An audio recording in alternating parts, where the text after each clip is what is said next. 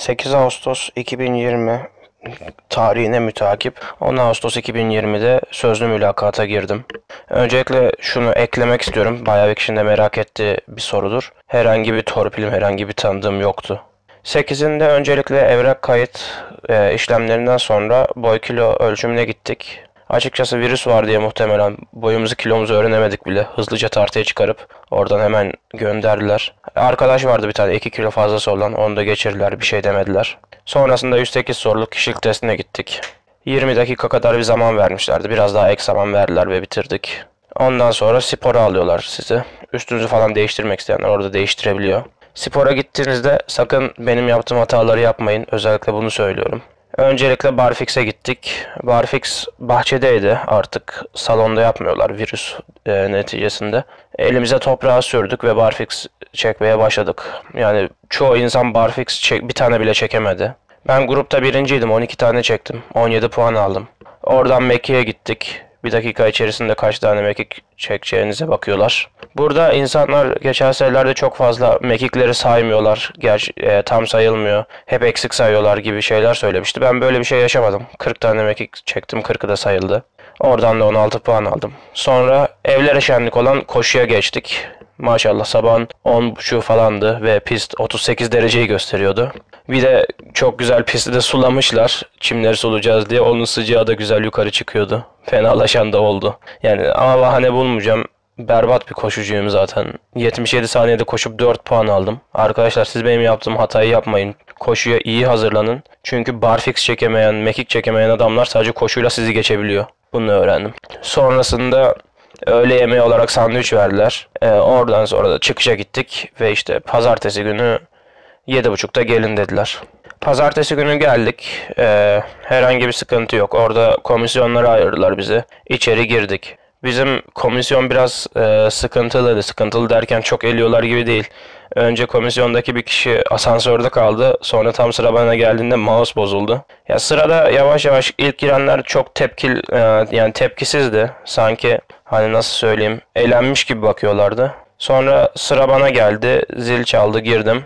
E, hoş geldin Evren dediler. E, gel maskeni çıkarttı senin yüzünü görelim falan diye. Yani rahat konuştular. E, işte öncelikle neden asker olmak istiyorsun diye sordular. Ben de dedim ki öncelikle bu şanlı yuva başta ulu önderimiz Mustafa Kemal Atatürk olmak üzere birçok büyük komutan yetiştirmiştir. Bu komutanlar da savaşta ve barışta e, vatanımızı savunmuştur. Ben de bu şerefe sahip olmak istiyorum efendim dedim.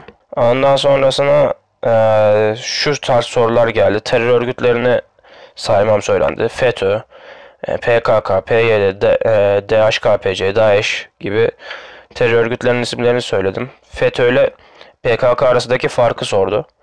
Ben de dedim ki e, FETÖ devlet kademelerine sızmış, devlete içten çökertmeye çalışan bir e, örgütken PKK silahlı mücadele yapan bir örgüt dedim.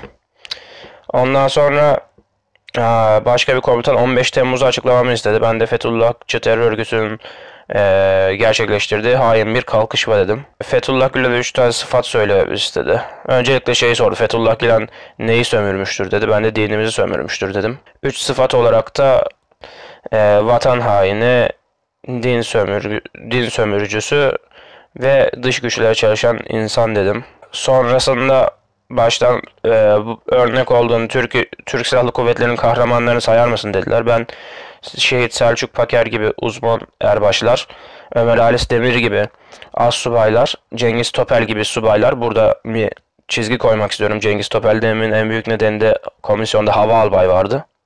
Ve komisyonun başkanı değil ilginç bir şekilde. Muhtemelen başkan olan rektör yardımcısı olması lazım. Çünkü bir komisyona da e, bir tane general girmişti. O da rektör yardımcısıydı. İşte Cengiz Topel dedim. E, Eşref Bitlis gibi de generaller dedim. Orada bir durdurdu. Cengiz Topel kimdir açıklar mısın dedi. Ben de e, Kıbrıs Savaşı öncesi e, ilk müdahale için jetlerimizi gönderdiğimiz zaman jetler, jeti düşürülen ve işgalci yapılarak şehit edilen kahraman bir subayımızdır dedim. Ondan sonra başka biri de örnek aldığım 3 komutanı sordu. Ben sırasıyla öncelikle Ulu Önderimiz Gazi Mustafa Kemal Atatürk, Kazım Karabekir ve Timur dedim. Ben sırasıyla öncelikle Ulu Önderimiz Gazi Mustafa Kemal Atatürk, Kazım Karabekir ve Timur dedim. Ondan sonra birisi e, harita sorusu sordu. Hiçbir şekilde anlayamadım soruyu. Ve hani yön sordu ve bilmiyorum demek de çok mantıklı gelmedi orada bana. Çünkü yani bilmiyorum denilecek de bir soru değildi açıkçası. Ben de dörtte bir şansım var söyleyeyim dedim. Batı dedim. Adam emin misin dedi. Eminim efendim dedim. Emin misin bak dedi. Eminim efendim dedim. Böyle zorladım. Adam en sonunda çıldırdı. Geç e, karşıya dedi. Haritanın karşısına bak dedi. Nereymiş dedi. Doğuymuş efendim dedim. Soruyu yanlış anlamışım ben efendim dedim. Ondan sonra yerine geçebilirsin dedi. Bir kişi e, Atatürk Atatürk milliyetçiliğini açıklar mısın dedi. Ben de dedim ki ne mutlu Türk'üm diyene ilkesine dayanan, ayrıştırıcı değil birleştirici bir politika izleyen, Türkiye Cumhuriyeti vatandaşı olan herkesin eşit sayıldığı bir milliyetçilik anlayışıdır efendim dedim. Ondan sonra sıra Hava Albay'a geldi. Hava Albay e, şöyle bir soru sordu. Senin sıralaman iyi dedi. Ve 8000'e mi girmiştin diye bir yem attı anlaşılan. Çünkü 8000'de değilim 13000 dedim. Hayır efendim 13000'e girdim dedim. E, planın nedir buradan çıkınca geçersen e, sivil bir üniversiteye mi gideceksin öncelik olarak yoksa buraya mı geleceksin dedi. Ben de efendim ben zaten bu puanı bu şanlı yuvaya gelmek için aldım. Bunun için çalıştım. Spora da çalışmam gerektiği için elbette tam konsantre olmadım. Belki daha iyisini yapabilirdim dedim. Ve o da tamam dedi. Onun dışında işte psikoloğa döndüler. Bir tane psikolog kadın vardı. Sizin ee, soracağınız bir soru var mı diye şey yaptı. Sordu komutan. Hayır yok dedi. E, mülakat bitmiştir evlat çıkar. Dosyayı alıp çıkabilirsin. Muhabbetle git ailene selam söyle dediler. İyi geçmişti. Arkada bekleyen arkadaş da stresliydi bana bakıyor çıkınca. Gözüm içinde ben de şöyle bir baş parmağımla güzel işareti yaptım. Sonra da gittim. Aşağıda barkodları okutuyorsunuz.